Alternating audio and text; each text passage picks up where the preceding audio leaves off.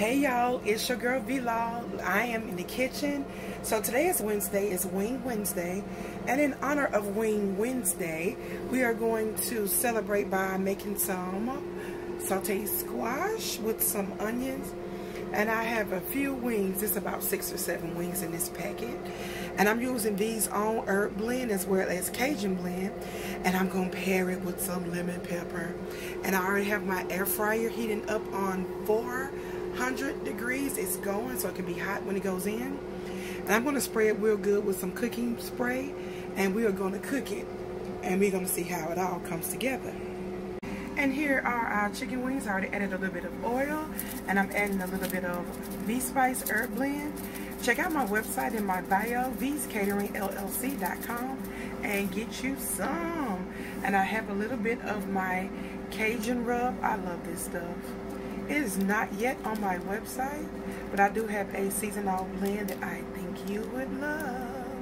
So I'm add a little bit of that.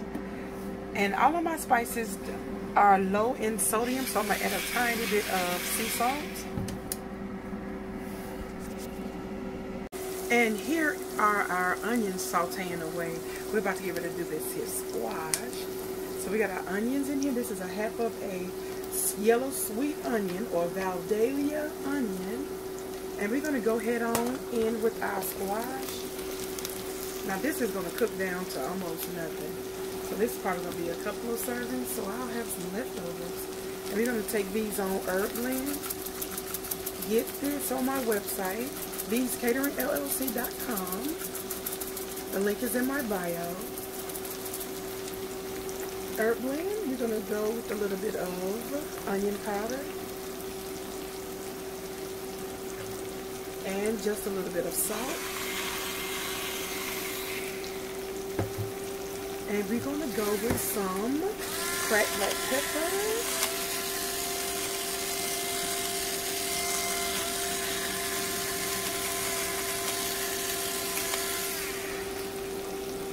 And we're going to cook this on medium low for about 15 to 20 minutes. It's going to have a lot of texture and we're going to put a lid on it because we won't need any water.